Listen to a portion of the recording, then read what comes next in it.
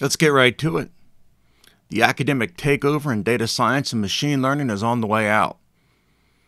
It's a death that was easy to see if you had any real world experience. The Harvard Review called data science the sexiest job of the 21st century. Academics skilled in mathematical formulas were going to swoop in and build highly accurate machine learning models and take over modern data analytics. Sounds great. However, it's not what happened. What really happened cost companies billions of dollars.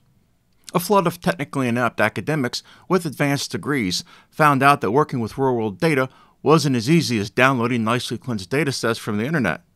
The same Harvard review that boasted about academics taking over modern data analytics tried to point the blame on companies and not the technically inept academics.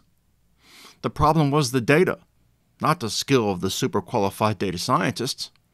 Companies have learned their lesson. Over the last five years, the trend towards hiring those with SQL and data related experience has emerged.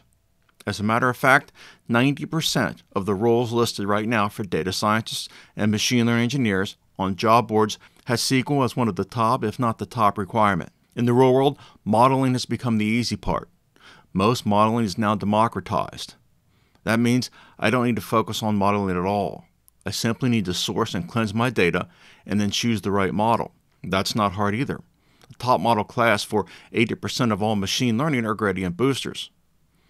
Before the flood of unqualified academics filled data analytics, the only people doing data mining and business intelligence in the real world were data professionals. That trend is increasing again at warp speed.